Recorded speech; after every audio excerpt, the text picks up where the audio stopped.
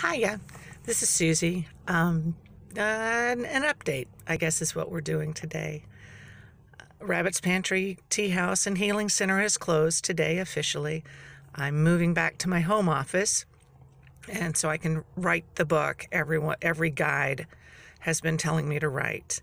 I'm also taking a Magic 301 class. It'll be my third year, and I am learning to incorporate magic into my daily life. And this is at a different level than what I usually do, which is, you know, think happy thoughts, talk to my guides, stuff like that.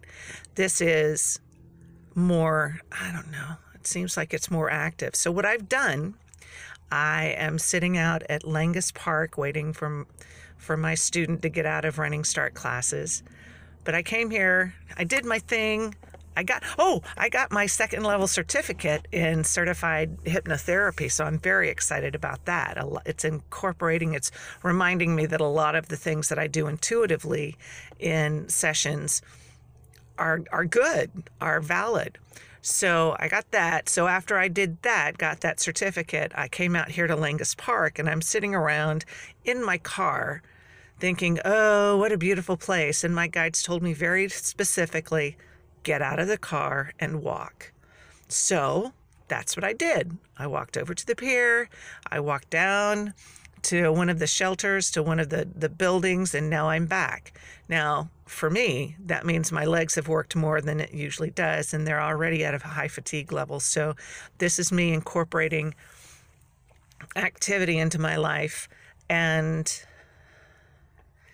and looking at the magic around me. So I got to see the different colored moss and the trees and the grasses. And this is on a river, so I got to watch Mother Nature play Pooh sticks as a great big log went under the pier I was standing at. So, my hope for us all is that with the changes that are going on, we are able to adapt and evolve and remember that we're all people and we all have hearts, and to allow those hearts to play out, to be shown. There are some people whose hearts are hurting.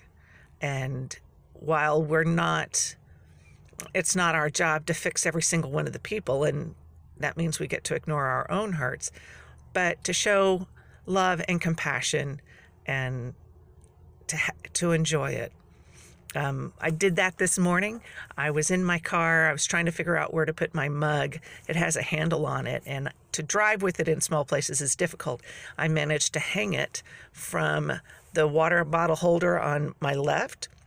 And I was so proud of myself. I'm going, oh, I'm so clever. Ha ha ha ha ha ha. And I caught the eye of, I guess he was 12, of a 12 year old kid. And he looked at me and he started laughing. And I figured, that's good. I, I brought some goofiness to somebody else's life. Hopefully he'll remember it. Hopefully, I don't know. That's an ego thing.